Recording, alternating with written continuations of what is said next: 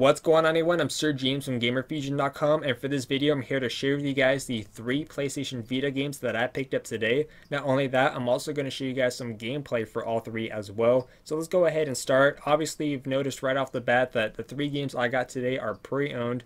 The reason they're pre-owned is because I had renewed my GameStop Rewards Pro membership and every time you do that you get a printable coupon for a buy two get one free on all pre-owned products in the store and so I use that coupon to get three new Vita games to my collection so anyways let me go ahead and show you guys what games I got so that way you guys get straight into the gameplay the first one is Dungeon Hunter Alliance. It's an RPG game, uh, dungeon crawler. You can think of it as kind of like Diablo in a way. That's what a lot of people compared it to. But uh, I played the demo. It's really fun. This game is also on the PS3. I'm pretty sure it's cheaper if you get it on the PS3 as a digital download.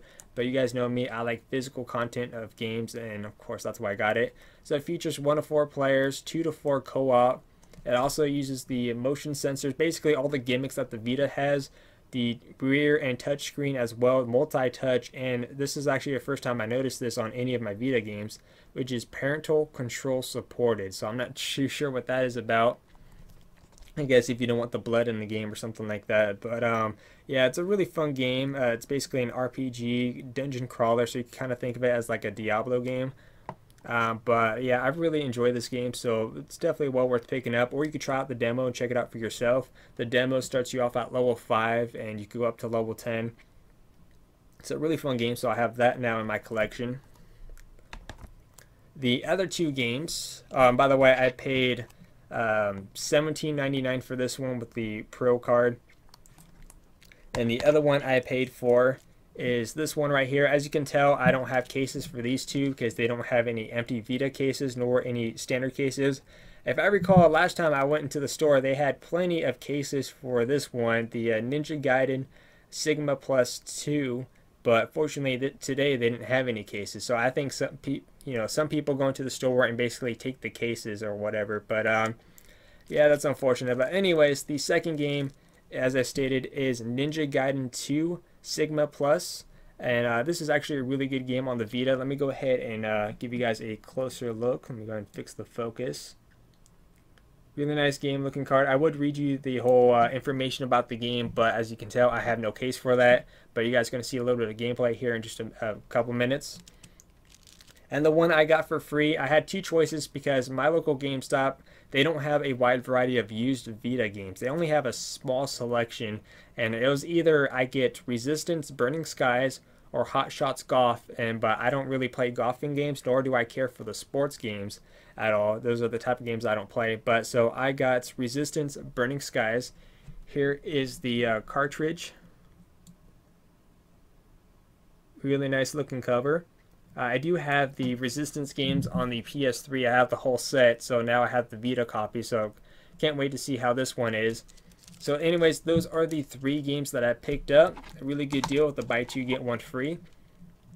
And uh, let me go ahead and bring you guys some gameplay. If you guys have any questions, feel free to leave that in the comment section down below. But before I do that, let me go ahead and just give you guys a quick up-to-date of my Vita collection as of this video. So we have Dungeon Hunter Alliance.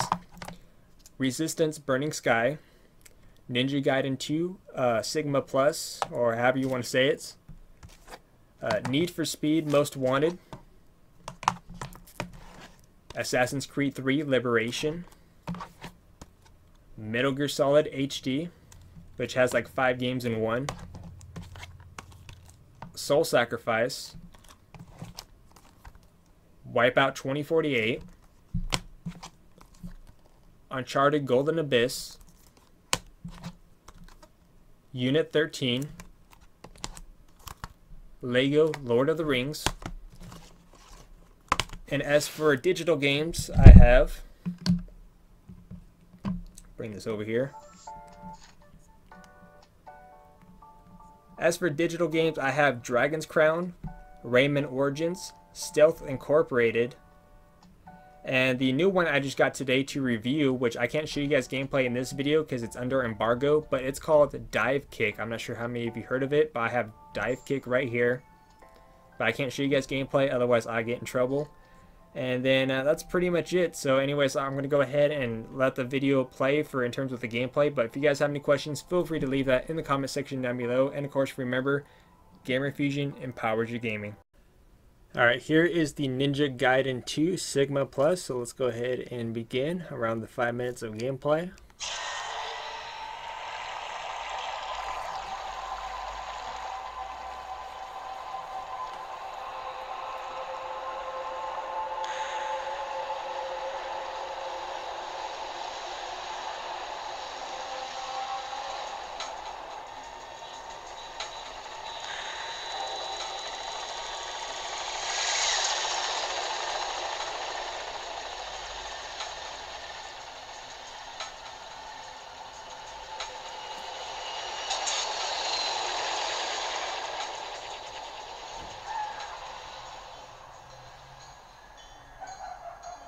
So, let me get this straight.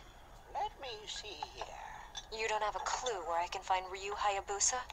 No one knows where a ninja goes. If he isn't at the Hayabusa village, he could be halfway around the world.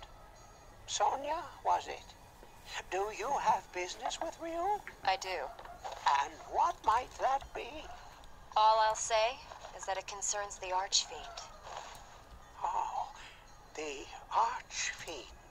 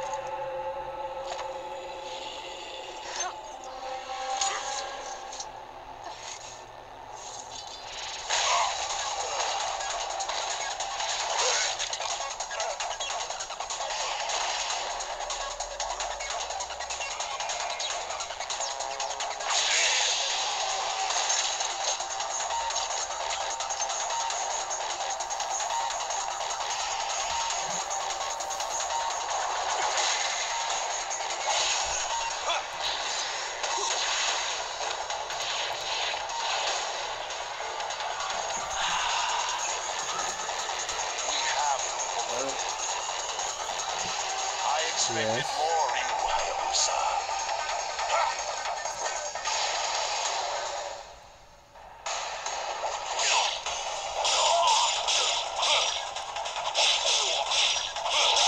Yes.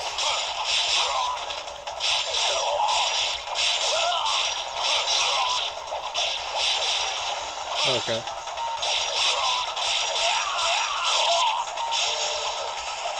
Okay.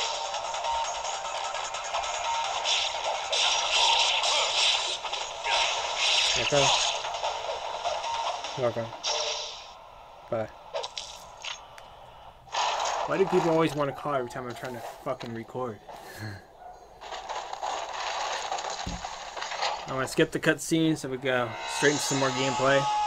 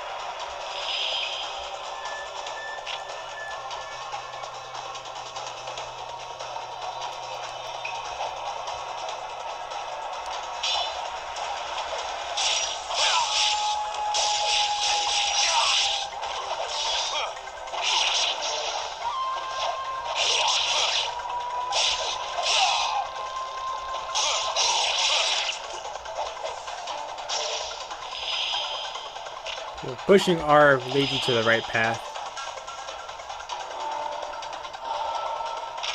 These are the safe points. Alright, so uh, so far I'm really enjoying it. Looks uh, impressive on the Vita, and uh, I heard this one was actually really good. So um, if you guys want some more gameplay, let me know in the comment section down below, and stay tuned for the next game. Alright, so here is Resistance Burning Skies. I kind of like skipped ahead a little bit until we got a weapon. It just took a little bit of time. But, um, so let's go ahead and begin the 5 minutes of gameplay starting now. And so far from just the brief moment of it, uh, was actually really impressive. Actually, I'm kind of adjust so you're not seeing this big old reflection of my face, especially in the dark segments. So that should be uh, good. But basically, you didn't miss much. Uh, I went into this abandoned building. Uh, I found a bunch of dead bodies everywhere, and then one of my teammates died, and then I picked up this weapon. It's pretty much where I am. Visually, it's not that bad looking.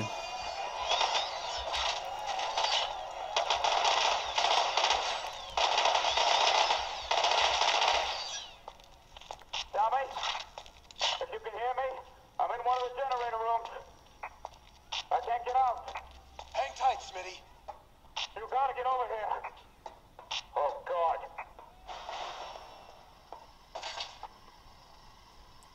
Approach the outside corners to take high cover.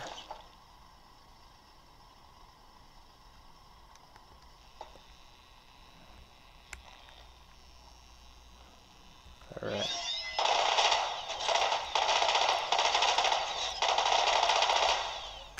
So you do have corner cover, that's good.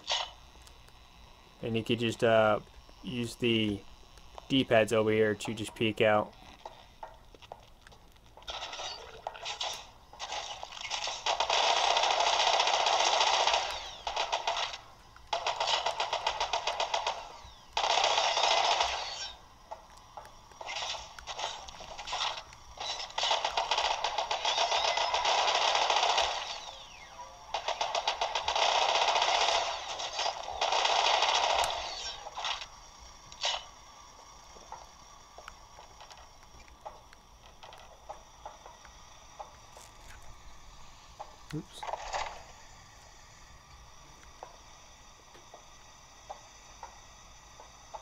I thought I was going to take damage from that.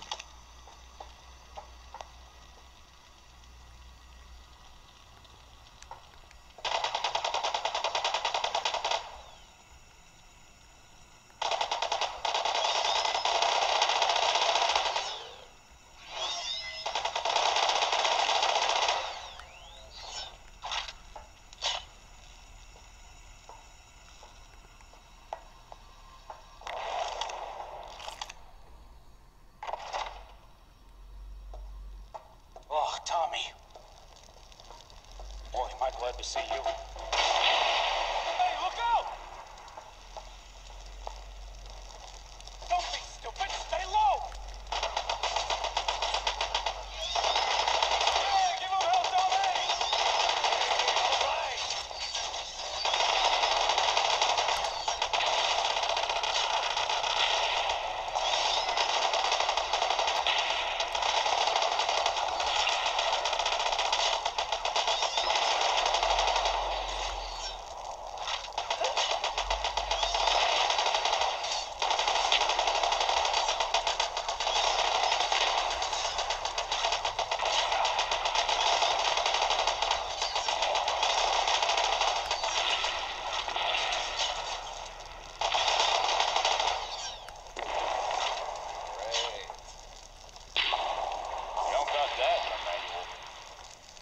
That's it, Tom.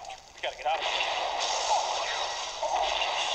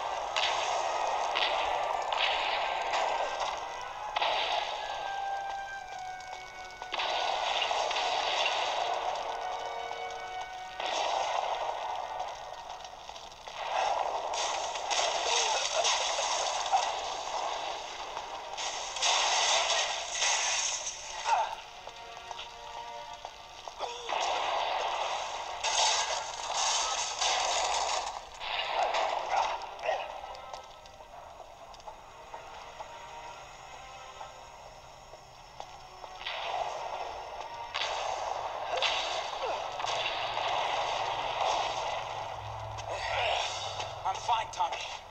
You sure? Yeah, no, I'm fine.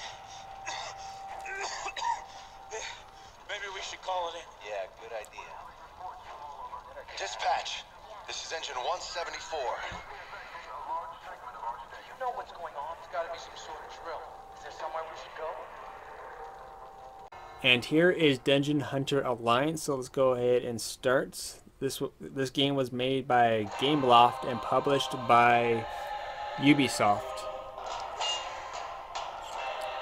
Go ahead and select story mode. Let me go ahead and fix the focus here. Alright, so there's uh, the single player and multiplayer. New character. In terms of characters, you have the wizard. Alright, I mean, not wizard, mage. Uh, his skill is energy. You have the warrior, which is in strength. And the rogue, which is dexterity. So I'm going to go ahead and pick the warrior. I'm just going to enter a random name. Um, let's put hell. And continue.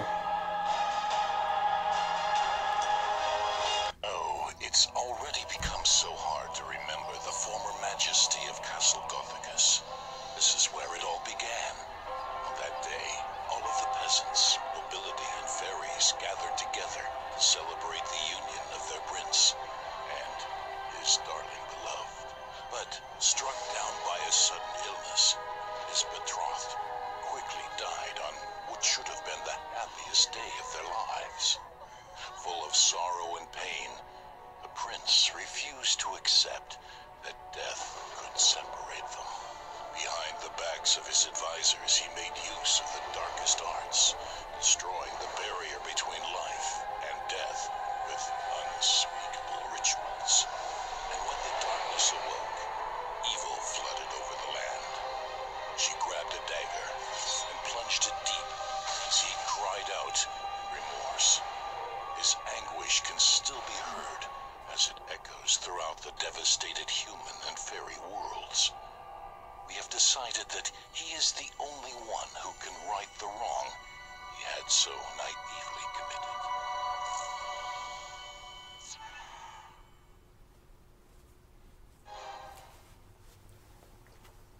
Alright, so that was the introduction. Pretty interesting. I played the demo for this and I actually really enjoyed it. It has that like cartoonish look to it. Sorry for the reflection. It's during the daytime. Usually I record Vita gameplays at nights. Uh, that's how I don't get that reflection during those ones. But um, just want to get this done out of the way. I'm trying to hide over here in the corner so you're not seeing too much of my reflection.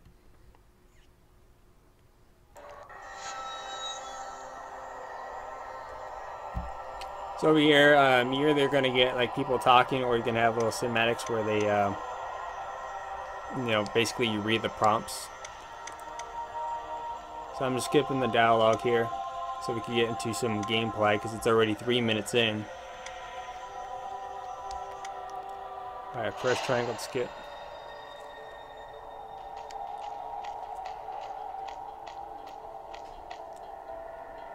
Over here is going over the controls. You have a lot of touchscreen controls. For example, this uh, floating fairy, you could use the rear touch panel, which I'm doing right now. See, my hands are right here, not on the joysticks. And you can move the uh, fairy all the way around. My hands are kind of sweaty, so it's not that uh, responsive. So as you can see, you move the fairy around. Or you could use the analog stick. And then over here, you have like a bunch of customization. Every time you level up, you could increase your strength, dexterity, endurance, and energy your inventory what what I like about this is that you can see what you have currently equipped and then do a comparison between the two you have a ton of skills for your characters abilities for your fairies and then a quest log. So I'm going to go ahead and just get a new weapon. You use right to interact with stuff and pick up items and you use the left trigger to use your potions. Uh, so I'm going to go ahead and quit my new weapon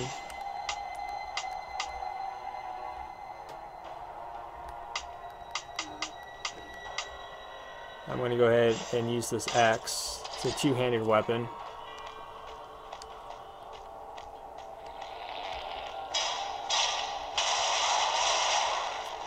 Pretty much in the beginning, you're going to be um, sl slashing your enemy's way. I just received a trophy right there. As the game continues on, it does get a bit, you know, harder, especially with the boss fights.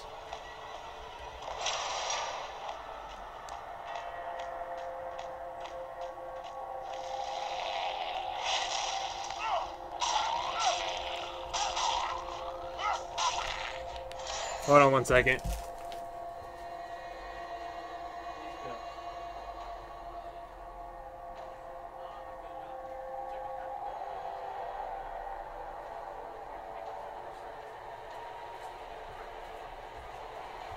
Sorry about that. I had to give my brother his pills. Or I just record a little bit more so you see a little bit more of the combat. But uh, visually, this game is nice. It has like kind of a, a cart cartoonish look to it.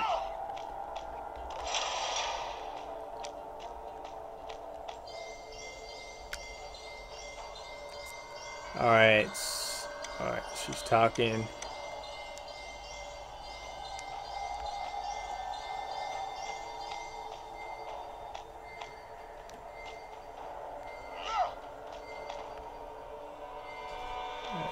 Interacting with something.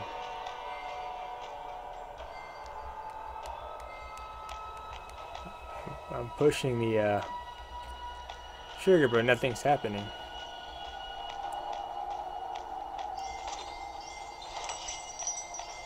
I don't know what you want. Is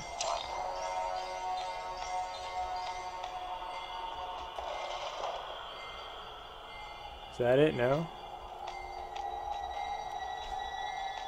I know what you want, fairy.